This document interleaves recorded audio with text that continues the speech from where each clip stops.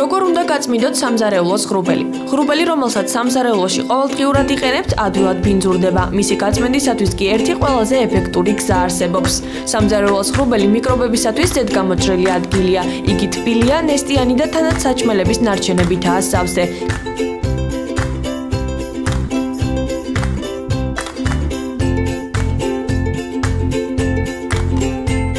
ალბათ ხშირად გიცდიათ მისი საფნით გარეცხვა, მაგრამ სამწუხაროდ ასე მიკრობებს ვერაფერს დააკლებთ. აი როგორ უნდა გაწმინდოთ სარეცხი ღრუბელი. ამისათვის დიდი პლასმასის კონტეინერი, თასი, საზომი ჭიქა, ძაბრი, ხელთათმანები, მათეთრებელი საშუალება და რა თქმა უნდა ღრუბელი დაგჭირდებათ. საზომი ჭიქის გამოყენებით კონტეინერში მოათავსეთ 14 ჭიქა წყალი და 1 ჭიქა მათეთრებელი საშუალება. მათეთრების გადმოსხმისას აუცილებლად ხელთათმანები გამოიყენეთ, რათა ხელები არ დაგიზიანდეთ.